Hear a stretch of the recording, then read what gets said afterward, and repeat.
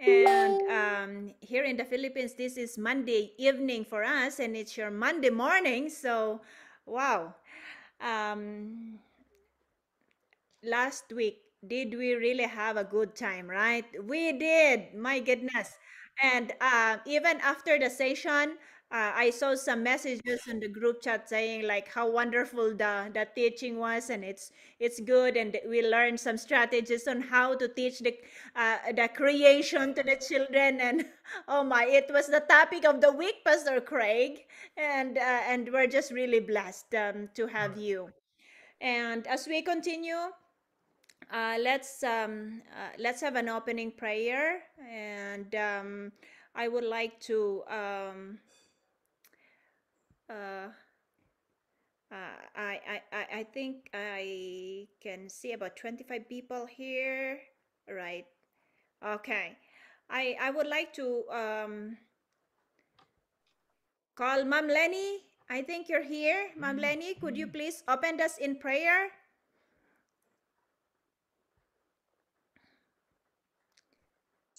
Okay, let us pray. Good evening to everyone and good morning to Pastor Carol and Pastor Craig. Okay, so let us pray.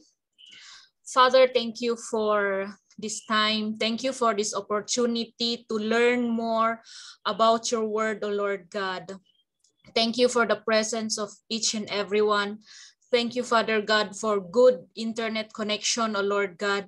And Father, as we start this seminar, Father, I pray that you will bless our speaker, uh, anoint him with your triple portion of your anointing, O Lord God. And thank you for this teaching, Father God. Thank you for his life, O Lord God. Use him more for your glory and to bless your people tonight, O Lord God.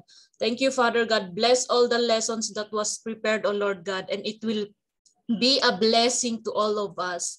Thank you, Father God. In Jesus' name we pray. Amen. Amen. Amen. Thank you so much, Ma'am Lenny. Uh, Sister Lenny is actually one of the core group here in uh, of the Philippine Values Education Program, and she has been with us. And uh, she started as a volunteer teacher, actually, and that's when she was just uh, as a college student. And so until now, she is still part of the program. And um, it's a privilege and it's an honor to call her my niece. Wonderful. So anyway, tonight I think, uh, folks, uh, we're not going to uh, do a long, long introduction so we can have more time with our lecturer. And I think we already realized that he is truly a Bible teacher. Last week, oh my God, it was such a wonderful time. And uh, like, uh, I, I don't know uh, if you did like what I did. I have several pages of notes on my notebook and also at the same time writing on my own book. Anyway, it's mine, Pastor Craig. So I, I'm just uh, trying to write everything as much as I can. And uh, for those of you who just joined tonight, uh, Pastor Craig has been a missionary to Ukraine for uh, for a number of years with uh, with his wife Dorothy, and um, and and now that uh, they are retired, actually, uh, I I can't see him retired because you know look at him lecturing not just to the people in Canada in Ukraine but also here in the Philippines. So I don't think uh, th- that's called retirement, but actually. Uh, God had uh, made this uh, maybe uh, a transition in his life for him to reach more uh, countries.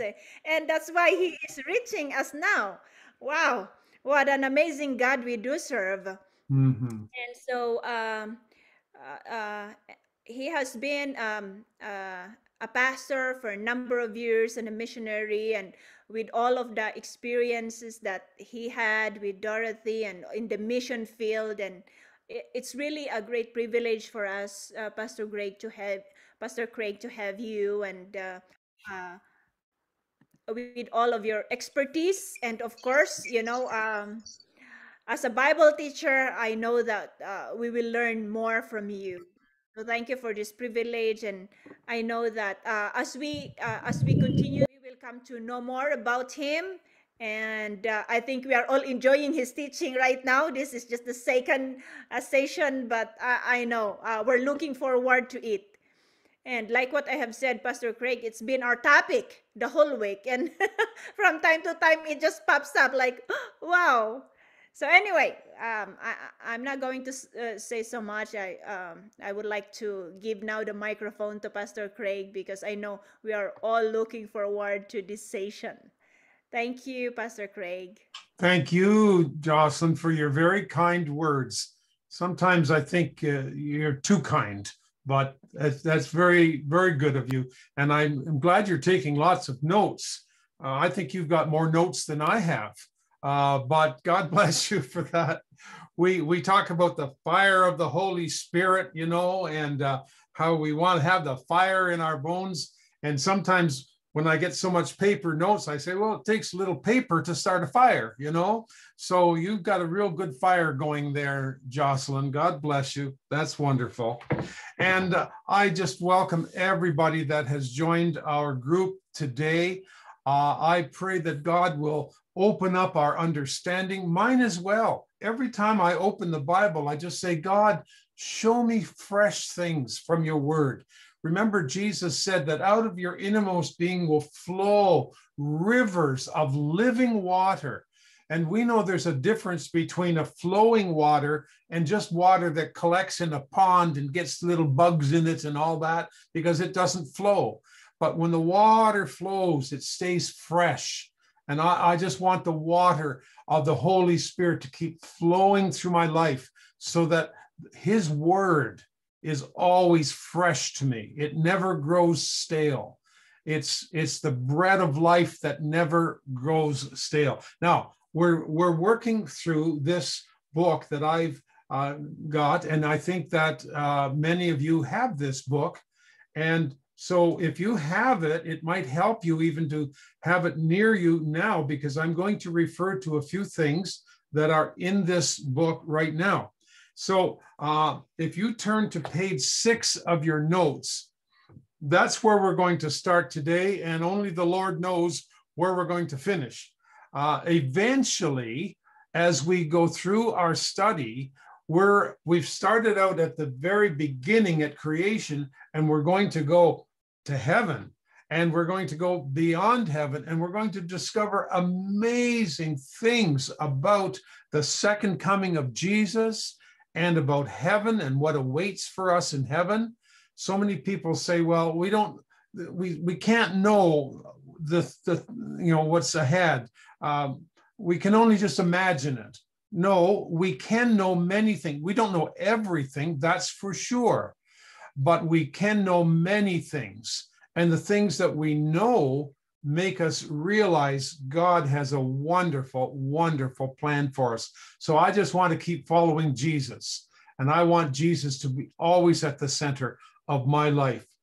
Okay, so we were talking about the week of creation in Genesis chapter 1. And uh, if you look at page six of your notes, you realize that, uh, and I did this on, on the board last week, how when I wrote the days of creation, I made it as a chart where day one and day four were opposite each other. Day two and day five were opposite each other. And day three and day six were opposite each other. The reason is there's a relation between day one and four. Day one, God said, let there be light. Day four, was the sun and the moon. They're both light days. Day two was an air and water day. Day five, the birds and fish day. So again, air and water kind of re- they relate. Day three was the first well, was when the water, uh, the earth actually rises out of the water, and then life comes up out of the earth and its vegetation. And so uh, the, the day three is really the first day of life. It's vegetable life or, or uh, plant life, but it's life. And then when you go over to day six, again, there's life. It's animals at first, and then God creates man out of the dust of the earth. And so that's amazing. And then day seven is a rest day. day seven, and this is something that's really, really important. And I'll come back to this a little bit later today, where on day seven, it said God rested from the work that he had done. Now, that's interesting because God comes along in Genesis chapter 2 and verse 1, and it says, Genesis chapter 2 and verse 1 says, Thus the heavens and the earth and all the hosts of them were finished. Finished. That's a very, very important word. Do you know that there are three times in the Bible that the Bible says God finished something that he had started? And those three are very significant events. This is the first one, and it's the days of creation. God said, It's finished. There's no more work to do. And so that's Genesis chapter 2 and verse 1. But then we go over into John chapter 19 and verse 30, where Jesus is on the cross. He has paid the price for our salvation. He has given his life and shed his blood. And now the work of our salvation is finished. And on the cross, Jesus said, It is finished. Oh, I think that's just so wonderful. That makes my heart want to really rejoice. Here, creation was finished in Genesis 1. Now the new creation is finished in John chapter 19 and verse 30 because first or second Corinthians 5 17 says if anyone is in Christ he is a new creation old things are passed away and everything has become new. Isn't that wonderful? And you can even nod your head if you understand what I'm saying, because I can see some of you, and I think that's a great, a great truth, isn't it? That Jesus finished the work. Now, I said that there are three times that the Bible records it's finished. The first is in Genesis at creation. The second is Jesus on the cross at the new creation because he paid the penalty for us and it is finished. Salvation's work is done. Then the third time is at the very end of the Bible. Heavens, uh, when, when we're in heaven, the um, uh, Revelation chapter 21 and verse 6. Let me let me read a Revelation, the last book of the Bible, and verse 6. It says, He said to me, It is finished. I am the Alpha and the Omega, the beginning and the end. Oh, that's wonderful. And that's why when we look at the chart, see, we start with the word with, with alpha. That's the first letter of the Greek alphabet. And we go to the very last letter, which is omega, which is like saying from A to Z, from all the alphabet, every letter is there. Jesus is everything. Everything God has to say, he said it in Jesus. That's why Jesus is called the Word of God, because there's nothing more to say than God said in Jesus. And so Jesus says at the very end, when heaven is finally ready for us, he said, It's finished. I am Alpha and Omega. What I start, I finish. What I do is good, and what I will do in the days ahead is good. God always does what's good. Philippians chapter 1 and verse 6 being confident or sure of this thing, that he who began a good work, a good work, will finish it. Oh, I'm so glad about that. And so we'll come back to that day in just a minute. So, watch this. We talked about the days of creation. I'm not going to repeat everything I said last week, but we finally get to day seven. And day seven is again, as I've just said, the day of rest. God rested, the work was finished. Now, here's something that you really need to understand and think about. Adam and Eve work, what day of the week were they created? Day six, we know that. In fact, it was the last part of day six. And so now listen to this. That means that Adam and Eve's first day, first full day of life on earth was a day of rest. They didn't have any work to do. The first thing that they had to do is to rest. Wow. Now that's really amazing. And there's a, there's something in that for us because we need to realize that Jesus is the one who did the work of salvation. And when we come to Jesus, we need to rest in the work that he finished. There's no more work for us. Titus 3, verse 5 says, It's not by works of righteousness that I have done, but according to his mercy that he saved us. Ephesians chapter 2, verse 8 says that we're saved by grace through faith, and it's not of my my works. Jesus did the work. And so what I need to do is rest in what Jesus has already done. That's why it's, it's really important to remember that Adam and Eve's first full day of life on earth was to rest in the work that God had done and that God had finished. It was finished. They rested. Now, they did have work to do. They didn't just sit around do nothing in the days ahead, but work didn't start until they rested. They had to rest first, then they get to work. And we have much work to do for God, but there's a principle there where we need to learn to rest in Jesus. Even as we walk through life, we realize that there are challenges that come and things that we need to give our attention to. But the first thing I do when I, I'm facing one of those problems or a lot of work is I come to Jesus and I say, Jesus, this is not my work, it's yours. And I rest in you. Give me faith just to trust you and let my life rest in you today. And in other words, everything I do as a Christian begins with resting, resting in the promises. There's another way of saying that. It's called faith, where by faith I just trust the Lord. I don't have to stir things up and hard work at it. I just say, Jesus, I trust you. That's faith. That's rest. And that's why in Hebrews chapter uh, 4, it says, We who have believed do enter his rest. Oh, that's wonderful. Believing, we who have faith enter his rest. I'll talk more about that a little bit later because I'm still not done on that topic.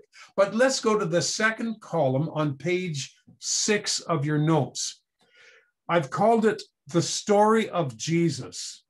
This is so exciting because I realize that when I get into this um, this uh, view of creation, that God has actually hidden a story there about Jesus, his birth, his death, his resurrection, his ascension, his, his, life on earth, his second coming. It's all. Did you know that that's in the very first chapter of the Bible?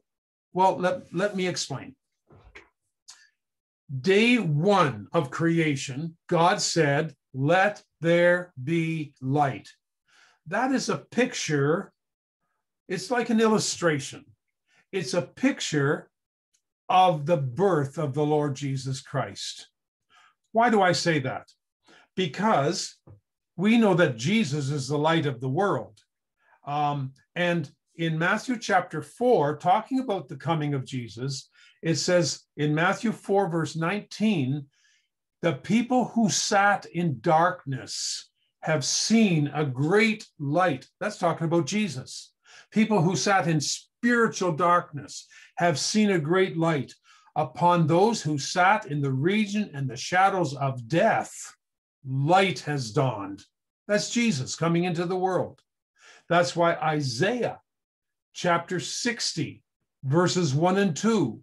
He prophesied, Arise, shine, for your light has come, and the glory of the Lord has risen upon you.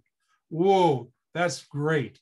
Or John chapter 1, verse 5, it talks about Jesus coming. You know, it's interesting, the uh, Matthew, Mark, and Luke all talk about the birth of Jesus in a different way. But when John talks about the birth of Jesus, he just says, the word became flesh. And then he says, the light shone in darkness, Jesus.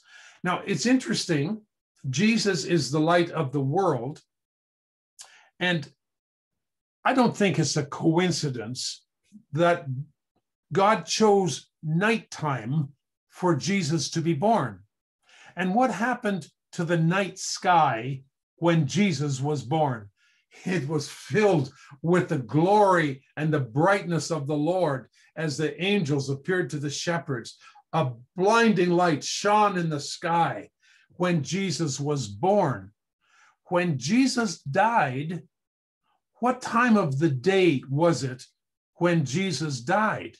It was right in the middle of the day at noon when the sun was the brightest. And what happened to the bright sky when Jesus died? It became dark. Why? Because the light of the world was dying on the cross. That that's more than a coincidence to me. When i see those kinds of things i think jesus you are the light of the world. And remember what i said last week? When we go through the days of creation it says every day it says the evening and the morning were the first day. The evening and the morning were the second day. Well, we we don't talk of days that way. We say the morning and the evening were the first. We start with morning, and then when we come to evening, as you are right now in the evening, you're saying our day is coming to an end, and we wait for the dawning of a new day when the light comes tomorrow. In other words, our day starts with light and ends in darkness. God's day doesn't start that way. God said the evening and the morning were the first. God might start in the dark, but he'll always end in the light. He comes into my life when the darkness of sin has brought darkness and and and and uh, uh, death, and the light shines. Jesus steps into my life, and now the light turns on. He'll start in the dark, but he'll end in the light. And that's why when you read the Bible, the very first verses of the Bible says darkness was over the face of the deep. The Bible starts in darkness but you look at the very last of the Bible and talks about heaven, says there's no night there. God might start in the dark, but he'll end in the light. And when you talk to people who are living in the darkness of sin, it's the light of Jesus that's going to change everything. That's what happened in your life. When Jesus stepped in, the light turned on. And so the first day, is really a picture of the birth of Jesus. The second day, remember, this is when the water was separated from the water. It's not the Atlantic from the Pacific, it's talking about the atmosphere. Uh, the clouds uh, uh that carry the rain in the sky, the waters from above, from the waters below. And so uh, this was a, a lifting up of the waters. That is a picture of the death of Jesus. Why? Because in John chapter 3 and verse 14, it says, As Moses lifted up the serpent in the wilderness, so also must the Son of Man, Jesus, be lifted up. And he said in John chapter 12, If I am lifted up, I will draw all men to me. And that the Bible says that he was speaking of his death. if I will lifted up. Now, do you know, it's this is, I'll just throw this in a little extra. At the end of every day of creation, God said, It is good, it is good, it is good. But if you notice, on day two, God didn't say it is good. That's the only day that is, is not recorded where God said it is good. Now, it doesn't mean that it wasn't good.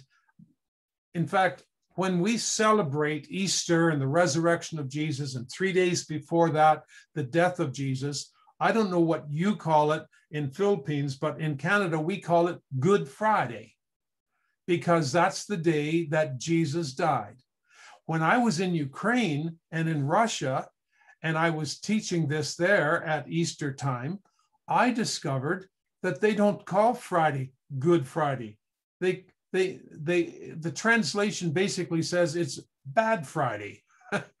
and I I said to them, uh, in Canada we say Good Friday, and here you say Bad Friday. Who's right, Canadians or Russians? and you know we just i said is this a good day or a bad day well you know we decided we were both right actually we're both right because it's bad that jesus had to die but it's good he did because he paid the price for our sins and so this was a day that that spoke day two the lifting up of the water is a, is a symbol of the death of jesus all right, let's move to day three. Oh, I love day three. Why day three? Because Jesus told his disciples that he would suffer, he would be killed, and he would uh, arise from the dead on what day? Day three. He said, The third day I will rise again. So, what happened on creation on the third day? Well, we see that the earth was all buried by the water, but now there's a resurrection the earth comes up out of the water. And there is a resurrection of the earth. And not only that, out of that comes life. Out of the earth rises life, plant life, and all kinds of vegetation. Day three, for sure, is a picture of the resurrection of the Lord Jesus Christ. When Peter was preaching in Acts chapter 10 and verse 40, he reminded the people that God raised Jesus from the dead on the third day, he said, and showed him openly. Wow, that is just a wonderful thing. There's um there there are a lot of scriptures that I've given you there in that chart. Matthew chapter 16 and Mark and Luke and Acts all refer to the fact that Jesus would rise on the third day. So Jesus' resurrection is the first day of life as well. And so day three is a wonderful picture of the resurrection of Jesus. Okay, let's move on to day four. So day one is his birth. Day two re, uh, speaks, it's just pictures of his, of his uh, birth. And then day two is of his death. Day three, picture of his, pictures of his resurrection. And day four is a picture of his ascension or move or going up into glory. The Bible says that he uh, sat, at, he was raised and is sitting at the right hand of God. It's interesting to me when we talk about the days of creation that on day four, nothing happens on earth. Day four is not an earth day at all. Day four is a day of the heavenlies. And day four speaks of the ascension of Jesus or moving up or lifting up from the earth. Um, Hebrews chapter 8 and verse 1 says the main point is that Jesus is our high priest seated at the right hand of the throne of the majesty in the heavens. Oh, I like that. or Ephesians chapter 1 and verse uh, 20 it says that Jesus was raised from the dead and was seated at the right hand of God in heavenly places. Oh, I like that. And so there, day four is a, is a picture of Jesus and the work that he does for us now as our high priest. Uh, the, the, uh, that uh, Hebrews chapter 7 and verse 25 says that Jesus ever lives to make intercession for us. Oh, that's wonderful. That's why when we pray, we pray in Jesus' name. We're praying to the Father through the Lord Jesus, who has paid the penalty of our sin and now is sitting, sitting at the right hand of the Father on high. Well, that's a wonderful thing. Now, remember, I talked about the greater light that rules the day and the lesser light that rules the night. The greater light, of course, is the sun. The lesser light that was created on day four is the moon. Well, the Bible says in First Thessalonians chapter 5 that we are children of the day. So the greater light would be Jesus who rules us, the day. The lesser light is us who reflect Jesus into the dark world. Like the moon reflects the light of the sun, we reflect the light of Jesus into this world. And that's why the Bible says, uh, Jesus said in Matthew 5, let your light so shine before men that they will see your good works, but that they'll glorify your Father who is in heaven. Oh, wow. Okay, let's move on to day five now. Day five, remember the birds and the fish uh, were created, and they were created in abundance. And I believe that that is a picture of the day of Pentecost when the Holy Spirit came, because the, the uh, Jesus is the Lord of abundant life.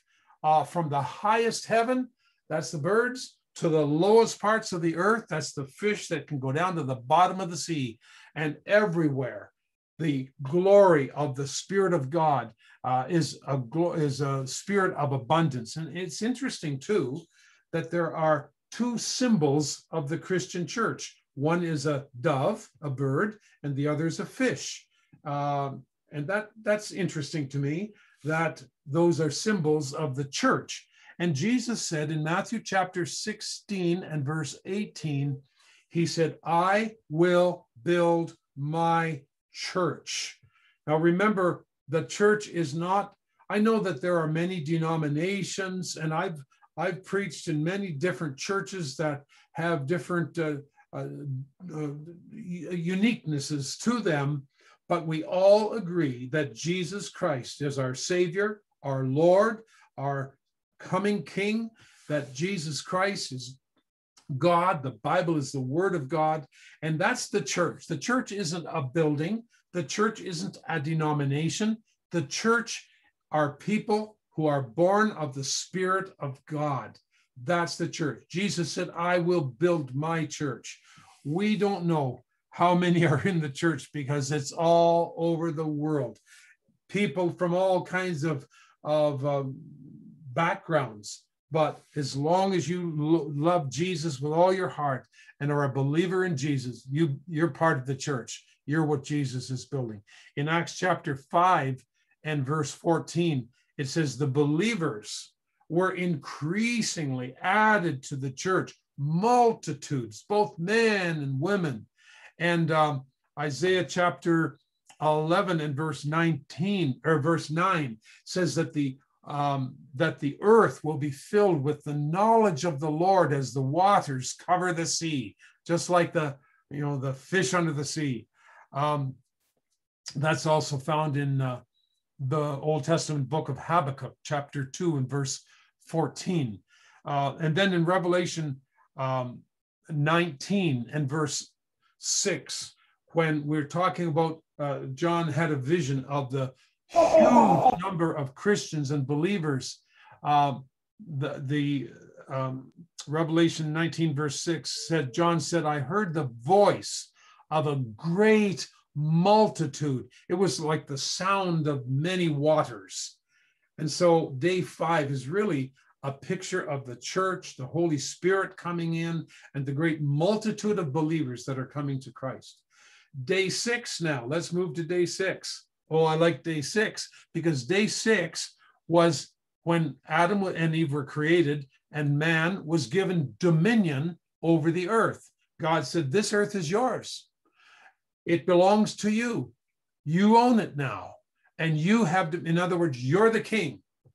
And that's why when they sinned, they, they destroyed what God had given them as a gift, they gave they gave their gift away to Satan. Imagine that.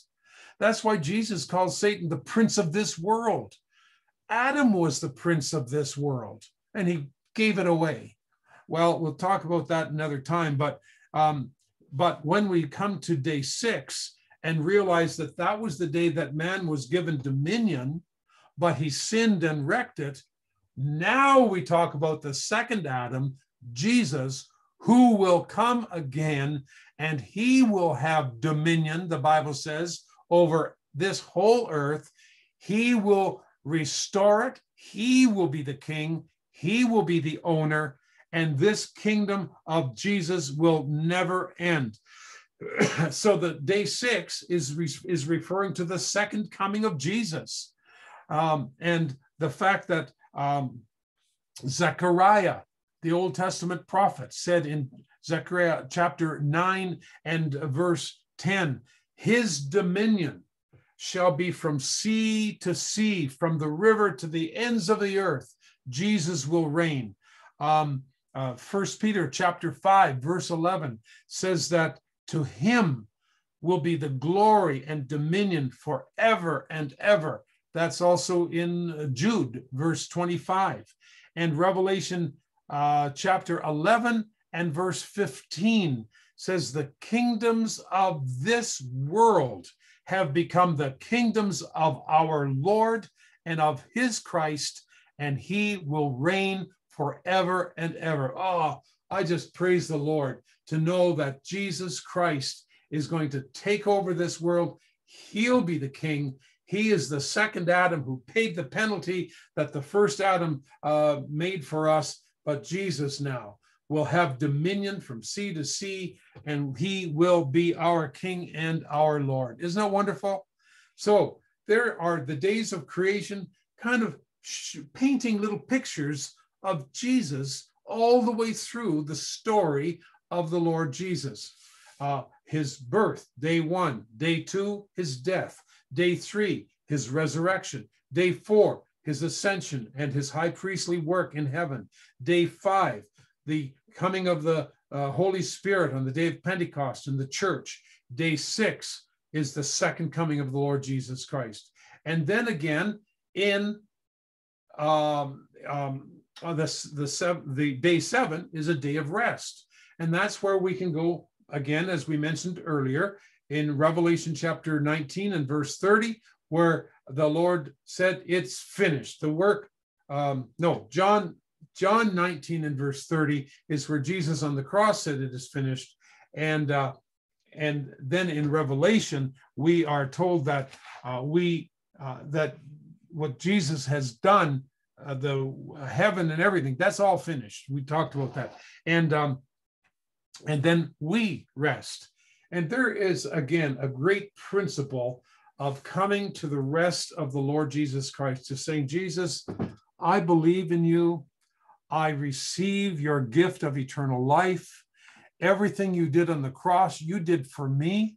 If I was the only person in the world that needed a savior, Jesus, you would have died for me. You loved me that much. Jesus loves you that much. He gave his life but he didn't stay dead. He's God. You can't kill life. And he rose from the dead. And he said, Come unto me, all you who labor and are heavy laden, and I will give you rest. So when we come to Jesus, we're able just to rest in him. That's what faith is. Do you know, sometimes I think we struggle too much as Christians in trying to get answers to prayer and trying to see stuff done. And we think that it's all about us. No, it's about just putting it in the hands of Jesus and trusting Him. Do you know, when I was a young man, I, uh, I loved to swim. And I actually went to a school, a big school in the city of Toronto, that had an Olympic sized swimming pool in the school. And so I took swimming lessons and I got special med- medallions and uh, awards for swimming. And I remember I was being taught how to be a lifeguard and how to save somebody who was drowning. And I learned a very interesting lesson because, um, you know, if someone is drowning and they're out in the water and their water is over their head, and they're they're afraid they start to fight and flail and say, get you know a mouthful of water and they say oh help me save me and then the lifeguard goes out to rescue him and to pull him into shore and to, and to safety. Well, I've heard that uh, sometimes uh, they, the person that's drowning is so afraid they just grab onto everything and they'll grab onto the lifeguard and pull him down and cause him to drown too. So it can be, they saying it can be very dangerous if someone is frantic and afraid and fly, you know, their hands are flying and they're they're they're screaming and they're afraid. Uh, it's it's so they taught us. This is part of my swimming lessons. They taught us how to break certain holds. They grab you around the the arm and they won't let go. They showed us how to break that hold. They grab you around the neck, they showed us how to break that kind of a hold uh, on you. So, so this is how we were taught to save a drowning person. And then after they told us all those things, they said, but there's still a better way. I thought, oh, okay, what's the better way? The better way is to swim out to where they are and don't touch them. Just stay away from them. What? I think if I stay away from them, they're going to drown. No, if they're fighting and screaming, they're they're still quite alive. Actually, oh yeah, I never thought of that. They're yeah, they're alive. so get out close to where they are, but don't touch them. Let them scream, and let them fight, and and just uh, tread water and be close to them, but don't touch them. And eventually, they'll get so tired of fighting they'll give up. Then you can go in and then you can save them and pull them to shore and everything's going to be okay. Now I thought, now that is the way it is with us and Jesus many times. We say, Jesus, why don't you help me? I don't understand. Why aren't you coming to my help? And we're fighting and we're throwing our arms all around and we're screaming and we're saying, I don't understand why this isn't working and why, Jesus, you don't come and help me. And all the time, the Lord's just right there, real close. He's just saying, you know, if you stop fighting and start trusting me and learn how to rest in me, you'll discover that I will save you from this situation. So many of things in life begin with resting in Jesus. And all of our fighting, all of our screaming, all of our exercise trying to save ourselves and yelling and blaming and whatever, it, it's not going to help. What helps is when I just rest and let Jesus do the work for me. And so that's why Hebrews chapter 4 says, We who have believed, if you're really trusting Him, then you enter His rest. Oh, I, I like that. God has a good plan. Now, I think we have time to start our chart a little bit today. We won't get everything done, but let's look at this chart again. And you have it on the front page of your of your book. And you also have it inside on uh, one of these pages, the, a big chart, you see, on page one of your notes after the index. And then on the top of every page, you have just a little, a, a, a little small picture of this chart so that you can kind of keep following through the book, even though you don't have to always turn back to the first pages. So here is the chart here. And I designed this chart in such a way that we could just see it in a simple form. Uh, I've seen many Bible prophecy charts that are filled with lines and designs and words and everything. And I tried to make this simple so that I could just see it myself. I like simple things, actually. I can understand it better that way. And uh, so we start with creation. Actually, this starts before creation, and we talked about that last week how God created the heavens and the earth. Now, finally, God steps into this earth that is dark and formless and void, and he says, Let there be light. And creation starts. And then finally, he makes Adam and Eve and he puts them in the garden. So each of these circles represent a different time zone through human history. The Bible doesn't tell us about everything that happened way back there. And it doesn't tell us about everything that's going to happen in the future. Many things it does tell us about, but not everything. And um, there's lots of things that still yet to happen. But the Bible basically is the story of man, of our creation, the fall of sin, and how God restored it through the Lord Jesus Christ. That's why the cross is in the middle, and on through the various time zones that we live until the end of this is the time zone we live in now, time zone number six, which is the day of grace. We'll talk about that and how this ends with the dead in Christ rising, and we who are alive are caught up together with them in the air, and wherever we're forever with the Lord. And the Bible then gives us a great picture of things that are going to happen after the second coming of the Lord Jesus Christ. We'll get into that, but not today. Okay, and that's very, very exciting, by the way. So let's go right back to the first time zone. We'll discover as we go through these time zones, and I won't go into great detail. You can do as much detail of this as you want if you want to study each one. But each one begins with a promise and ends with a catastrophe or a sin or uh, a judgment, shall, I, shall we say, where something has gone wrong. And um, uh, they, it, it, all begins with a, every one of these begins by God making a promise. There's a promise at day one, at, at, at zone one, or dispensation, we'll call it. There's another promise at number two, number three, four, five, six. There's a promise that begins every one of these time zones. Okay, what's the promise at day one, at the, um, the first dispensation?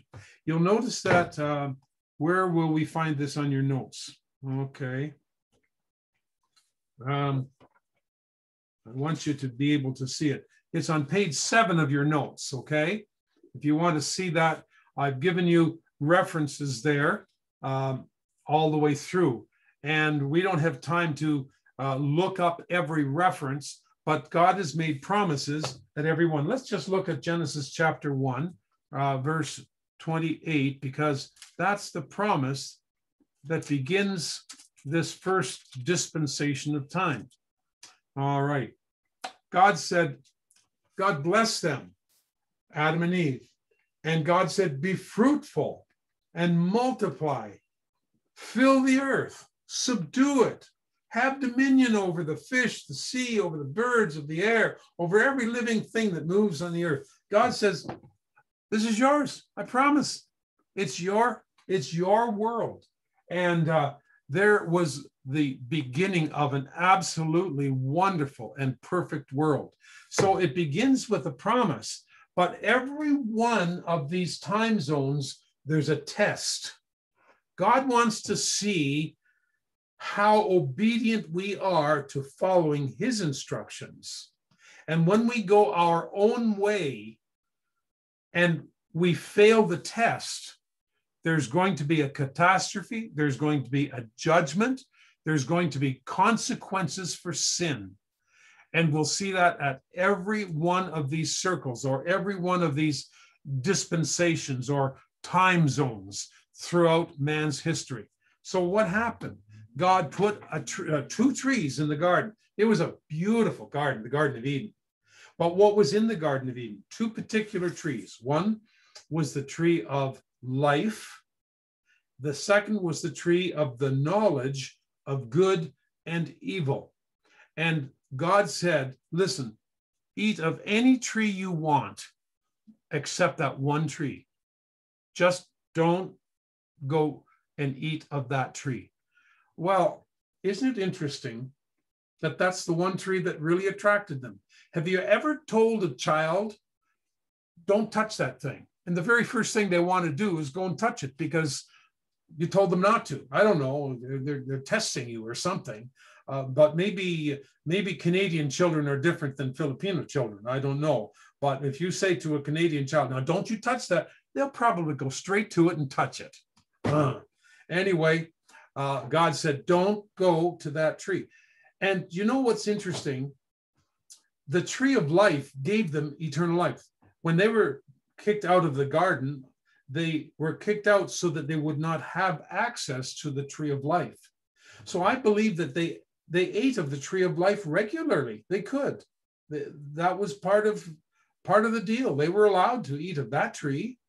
In fact, by eating of it, they would continue to live forever, really.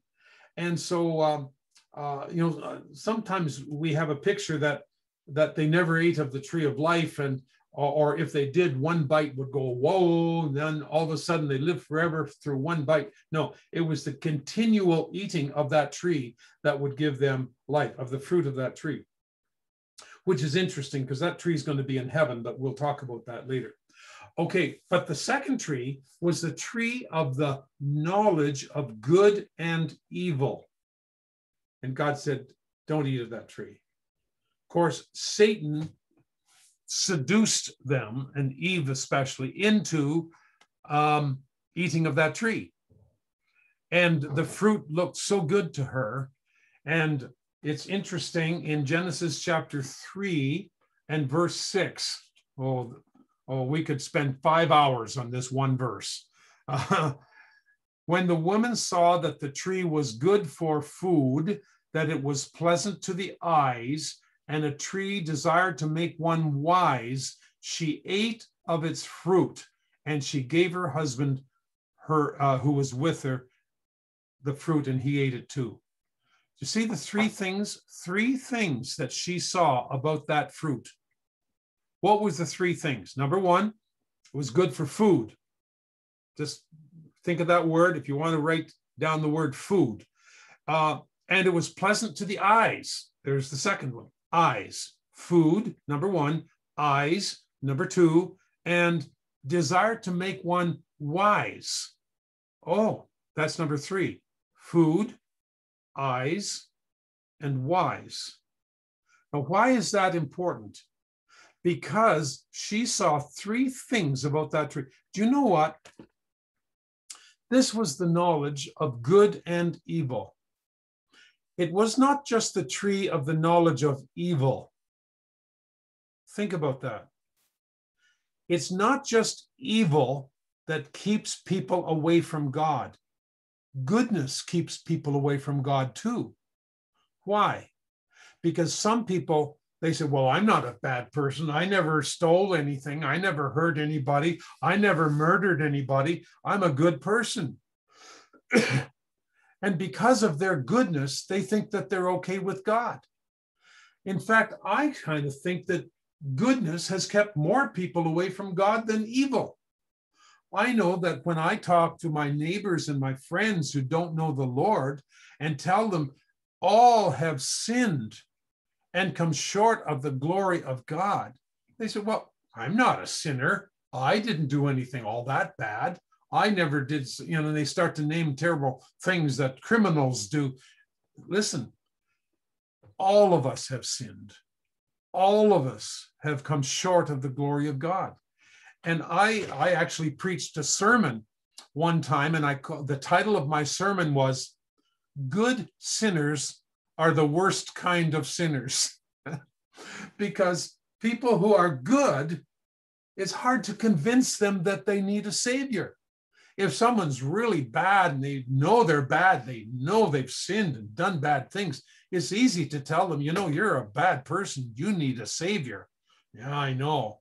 But someone who's a good person, and we've got a lot of good people that live around us, it's hard to convince them, you know what, you're a sinner and you need a savior. In fact, I was talking to um, a young man uh, a while ago, and uh, I was leading him in a sinner's prayer. And we prayed together. He wanted Jesus in his life, and I was helping him pray. And he was repeating after me, Dear Jesus, come into my life. He said, Dear, come in.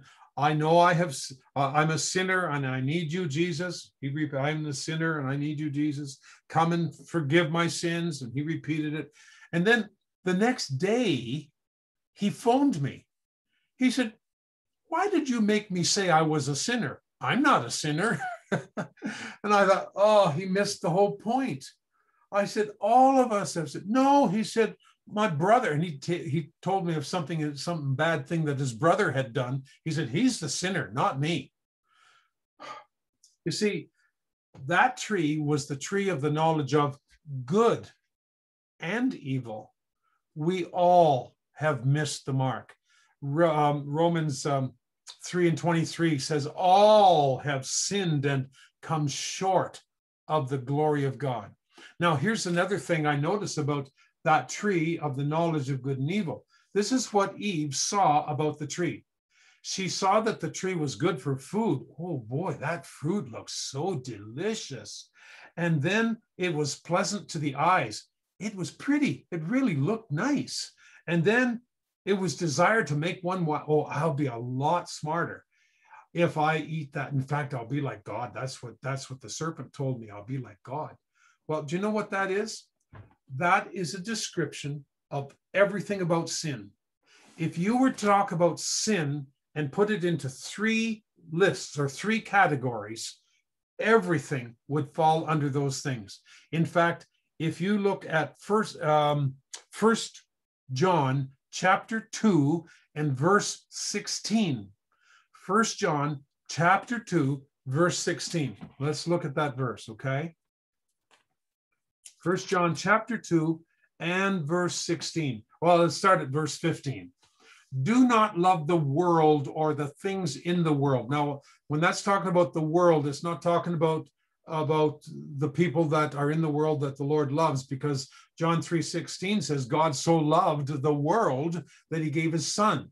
When it's talking about do not love the world here, it's talking about the, the system of the world, the way the world works, the, the system of, of revolving around sin and power and all that.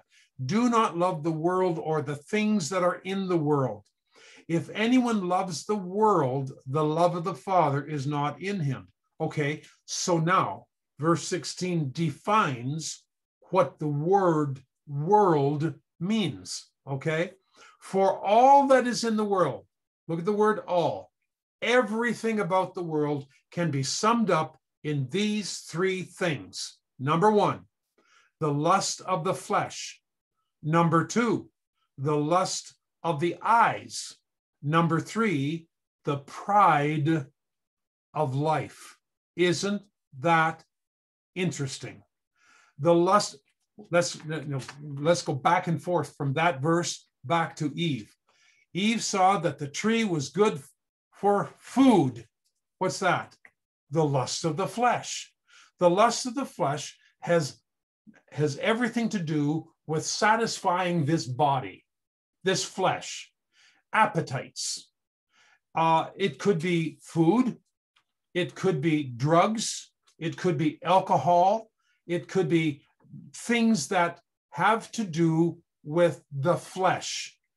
Uh, it could be sex and sexual sins, but it has to do with satisfying the flesh.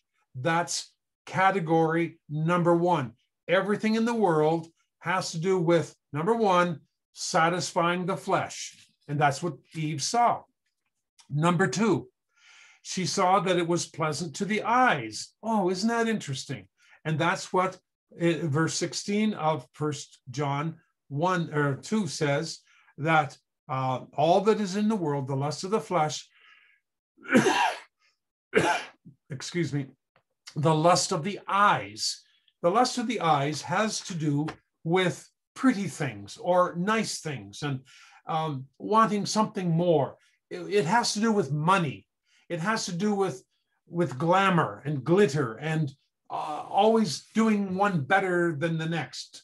My neighbor has uh, he's got a nice um, whatever, so I'm going to have to do one better than him because uh, I you know that's that's what you call the lust of the eyes, not being satisfied with what God has given to us and always trying to uh, accumulate wealth and money. Some people think if I just had more money and I was really, really rich and I was a millionaire, oh, that's what I want. And like, no, that's the lust of the eyes. Now, interesting, let me go back. God knows that I need to eat. God knows that I need a house to live in or a place to live. it's not that we don't need those things. In fact, in in Matthew chapter 6, Jesus said, Seek first the kingdom of God and his righteousness. And it says, you know, the world goes after what will I wear and what, what will I eat and all this. He said, the world, and then he goes on to say, your, your father knows that you need those things. You see, God doesn't come and say, You don't need food. Of course, we need food. But to gouge our appetite until we become gluttons, that's not right. Well, the, the Lord knows that I need things to satisfy the even sex. The Lord has built. So I've heard people say, well, God made me this way. Some young men that want to commit adultery, they say, well, God made me this way. Well, maybe God made you that way and he understands that but god has also put boundaries around how that operates and it and you work within god's boundaries and that's okay but when you go outside of the boundaries that god has given to you that is lust see appetite is normal I have an appetite for food. I have an appetite for uh, satisfying my flesh. Some of those appetites are normal, but lust, here's a definition of lust, okay? Appetite out of control. That's what appetite is. Appetite, I mean, that's what lust is. Lust is appetite out of control. Now, picture this a train. You know, people say, um, well, I want to be free. I want to be able to do whatever I want to do. And freedom, listen, true freedom is not doing everything you want to do.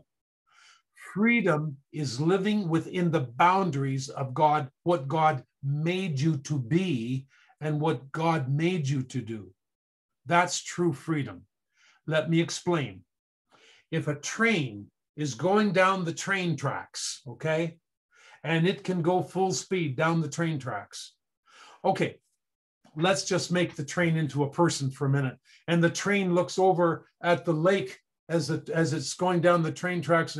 Look at that boat out there. I wish I could be out there on the lake. I'm stuck to these silly old tracks here.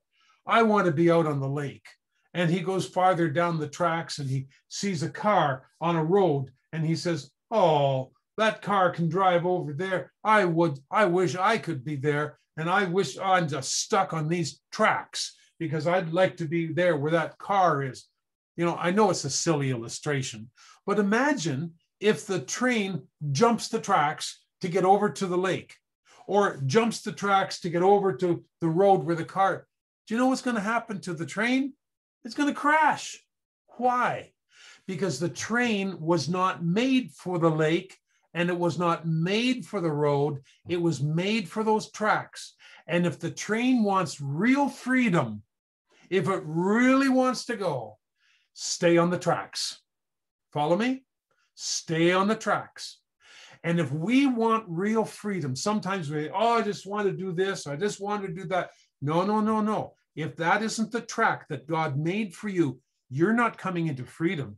You're coming into a wreck, into bondage. Stay on the tracks that God has given to you. The lust of the flesh means that you've got off the track. The lust of the eyes means that you're off the track. You're, you're seeking for something that isn't what God has for you. And then the third in First John chapter 2, verse 16, is the pride of life. The oh, pride. Now, isn't that interesting? because here was the third thing that Eve noticed about the tree in Genesis 3, verse 6 that the tree, it was a lie, but it was desirable to make one wise. Oh, I'm going to be smart. I'm going to know things. And that's the pride of life. Interesting. Interesting. That is the very thing that the Lord told us to avoid. In fact, the devil was not kicked out of heaven because of the lust of the flesh nor because of the lust of the eyes. He had everything. He was kicked out of heaven because of pride. I am going to be in charge. I'm going to be God. I'm going to be number one here. That's pride. And that's exactly what uh, uh, why God kicked him out of the um, the uh, heavens because of pride. So I always call pride the devil's sin. Now it's interesting too, if you look over in Matthew, this is interesting, and, and you look at the temptations of Jesus, and you see the way he was tempted. In Matthew chapter 4, he was tempted three different ways. Oh, interesting. Turn the stones into bread. That's the lust of the flesh. If, uh, what's the other one? Um, and um, if you if you are the son of God, he said, um, jump off this build uh, off the, the temple and let's let's see what you can do. That's just pride. Jesus said, no, I'm not, I'm not doing that. Um, uh, and and then the, the third, look at all the kingdoms of the world. Look at all this stuff. I'll give you all these things. That's the lust of the eyes. Jesus was tempted in all those three ways, even as Eve was back there, and as we're warned about in First John. And so there are, again, there's a lesson right there about sin and about what sin will do to us. And I, uh, we need to realize again that God has warned us right from the beginning. Just be careful, stay on the tracks.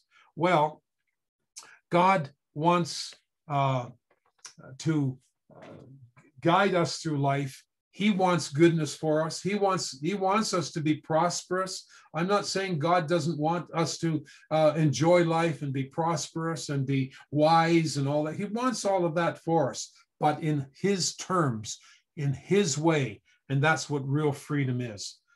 Freedom again is not doing everything you want to do it's freedom is doing everything god has designed you to do then you're really free. That's why the Bible says if the Son sets you free, the Son of God, Jesus, if he sets you free, you will be free indeed. And so the last thing I'm going to tell you before we close today is that this first dispensation ends with that catastrophe when, when uh, Adam and Eve were kicked out of the garden because they sinned. It started out wonderful, but then they sinned. And so the promise ends with a catastrophe. And what happened? Um, we move into the next uh, uh, dispensation. And you'll see that the symbol that I have is a foot on top of the head of, Satan, uh, of a snake. What that is, is a reference to Genesis chapter 3 and verse 15. And this is a very important verse because it's the very first prophecy in the Bible about the Jesus Christ coming as our savior and crushing the head of Satan. Here's what it says.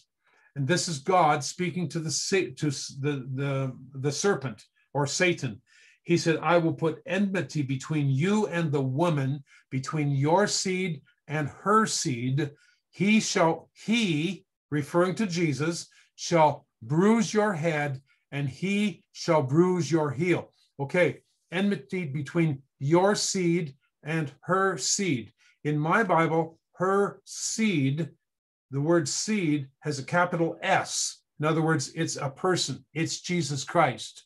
And it's her seed. Usually, seed is a reference to the male part of conception. But here, it's a reference to her seed, which says that Jesus is going to be born of a virgin.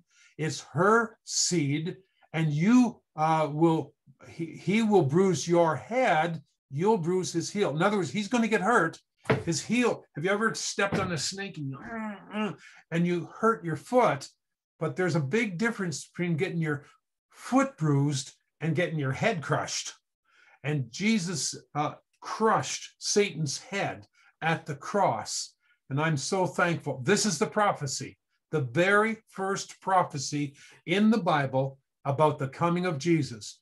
Uh, he will bruise your head and you will bruise his heel. Now, he'll get hurt, but you're going to get hurt way, way worse. And what Jesus did on the cross, we'll talk about this another day. What Jesus did on the cross was complete victory for us over Satan. Now we say, Satan still seems to be alive and well on earth, and he's still doing bad things. Well, that's true. but remember, Jesus won the victory at the cross. And when I rest in what Jesus did at the cross, I live not for the victory, but from the victory. I'm already in the victory in Jesus.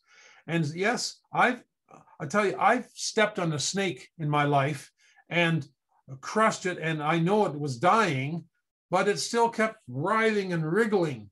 Satan, uh, snakes do that. Well, Satan's head has been crushed, and he's still writhing and wriggling, but the day will come when he'll end up in the lake of fire and it'll be totally over. So even though we do see activity from Satan, we'll say, I tell you, he's finished. Jesus finished him at the cross. And my victory is in Jesus. And I praise the Lord for that.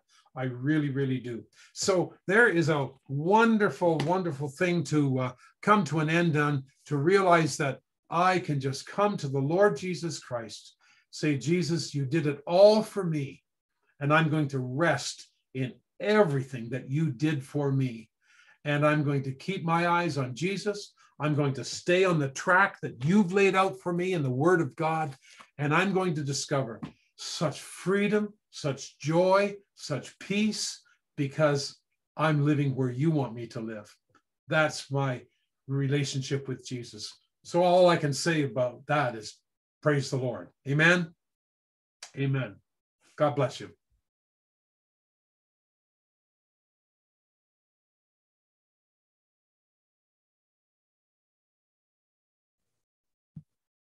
Jocelyn, did you have anything that you wanted to um, say as as we're closing out and have somebody pray?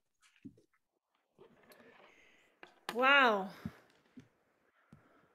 Uh, I think I can only say, wow, I, uh, this is so much. I mean, in just one sitting here there and Oh, there's just so much in it, Pastor Craig. Oh, wow, how I wish. Um,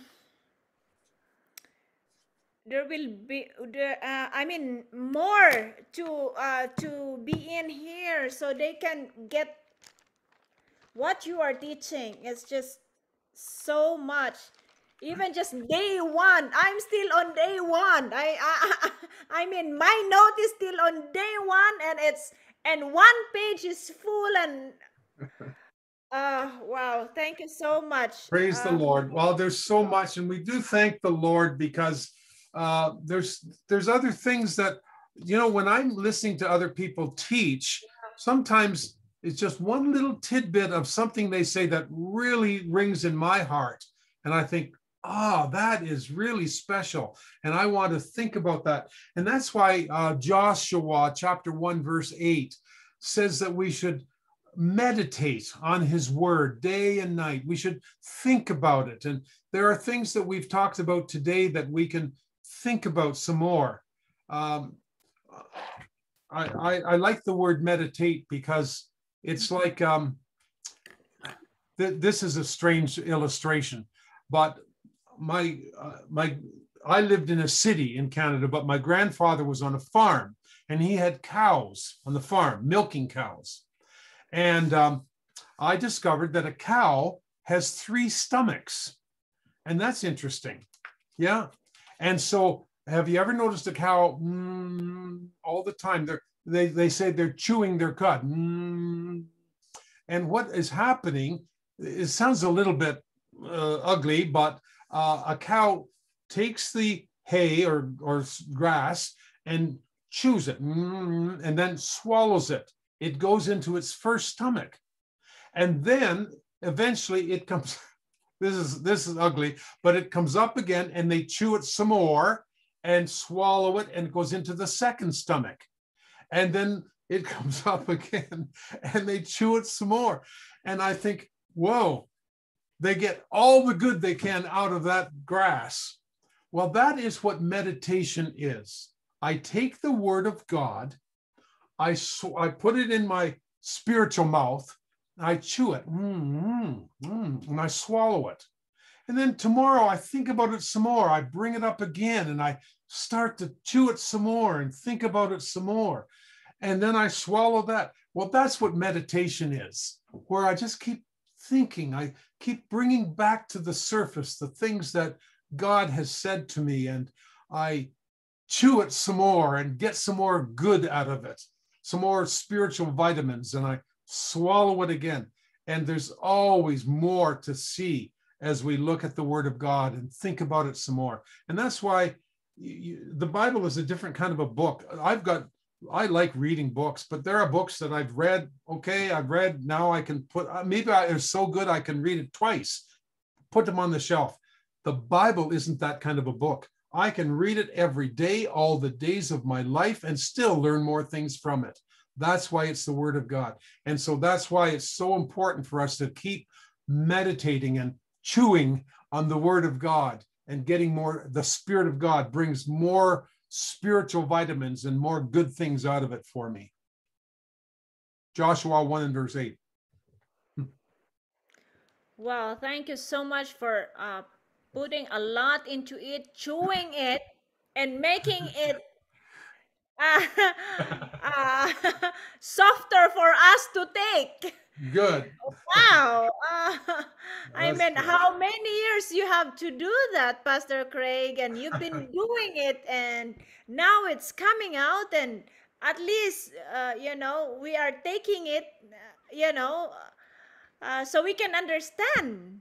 Well, praise the Lord. I thank the Lord for that. Do you know when I told you Joshua 1 and 8, 1 and 8, I don't have my Bible open, but I know it's there. Do you know why I know it's there? Because my mother taught me to memorize that verse when I was four years old. And that was more than 70 years ago. And I still have that verse in my head. Joshua chapter 1, verse 8. I learned it when I was four years old. And so, I mean, God wants us to keep meditating on his word all the time. Mm, God bless you. Wow. May I pray with you now, just to sum up? Okay? Yes, please, Pastor Craig. Father in heaven, I just thank you for your precious word. I thank you for the jewels, the gems, the gold that we find in your word when we dig deep and find that you have treasures there for us to discover. Help us, Lord God, not just to be students of your word in our heads, but in our lives, in our walk, in our conduct, day by day. May we be people who live out the word of God and show to others that Jesus is wonderful. His life is real. His way is the only true way, and it leads to heaven and joy and peace and rest. So help us, Lord, to continue to meditate on your word. And I thank you for every one of my precious brothers and sisters who are in the Philippines, Lord. I wish I could just hug every one of them and let them know how much I love them. And I pray that the Jesus Christ will be made real to them as they put their head down to sleep tonight, as they wake up tomorrow to a new day. May they realize, Lord, that every day is a day that you have made, a day to rejoice and to be glad in. In Jesus' name, amen. Amen. Praise the Lord. Amen. Amen. Thank you for joining us today. For more information on our ministries, please visit my website at inthewaitingministries.com. I'd invite you to also check out my YouTube channel, and I'm also on Facebook at In the Waiting.